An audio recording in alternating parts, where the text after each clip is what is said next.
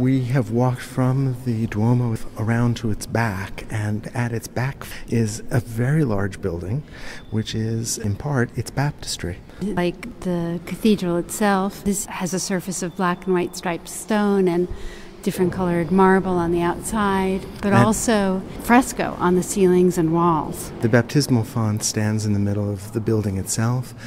It is quite large. It's very classical in its form. It, it's got six sides with six bronze reliefs at the base, separated by angels and figures of virtues. The top part of the font, we see a very classical structure with niches with sculpted figures, surmounted also by uh, frieze and pediments. Now, the bronze plaques themselves are 15th century, and they are by a variety of artists. Some are local Sienese artists, but there are at least a couple of identifiable Florentines. There's Ghiberti, and the most famous image here is by Donatello, and that's the Feast of Herod. And it's interesting to think about the city states vying for the best artists and Siena inviting the great Florentine artist Donatello to do a bronze panel for this baptismal font.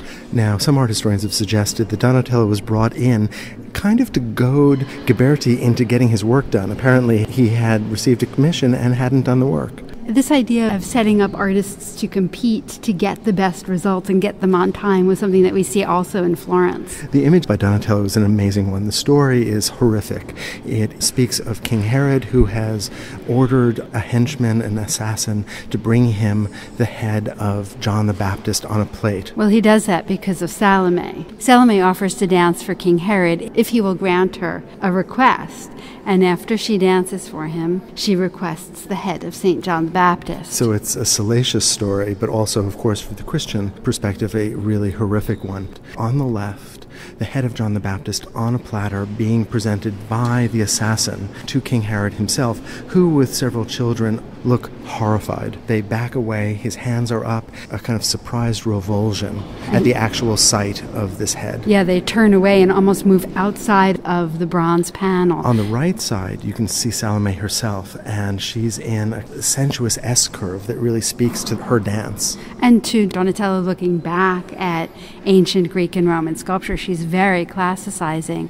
And we have a continuous narrative here because in the distance, we see the head of St. John the Baptist being brought. And then in, in the foreground, we see that head being presented to King Herod. In typical Donatello fashion, we have an incredible illusion of space, and Donatello using high relief and very low relief to convey a very convincing illusion of space. He's aided in the illusion of space by the use of linear perspective, which is almost unheard of in relief carving. But by parting the two groups of figures, he's exposing the tile floor, which is giving us clear indications of orthogonals moving back in space. This panel dates to just about the time that Masaccio was creating the Holy Trinity. So both artists were utilizing Brunelleschi's discovery of linear perspective to create an illusion of depth.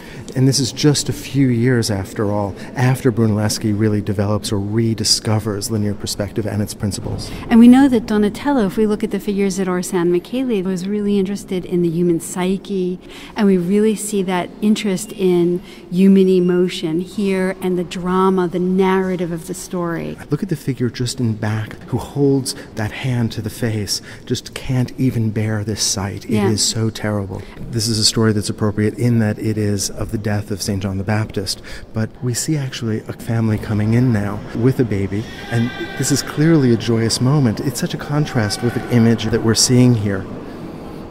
Oh, we're actually being asked to leave. The baby is apparently going to be baptized.